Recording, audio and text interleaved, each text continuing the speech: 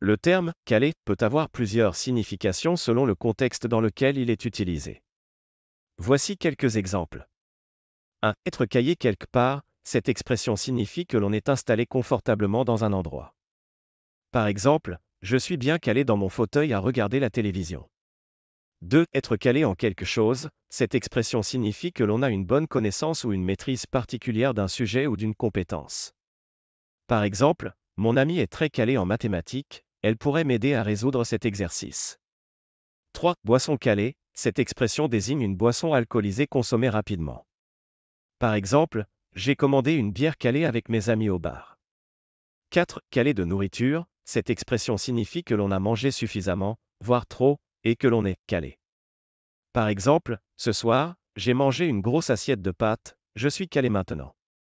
En résumé, le terme calé peut avoir différentes significations en français, mais elles ont toutes en commun l'idée de confort, de connaissance ou de satisfaction.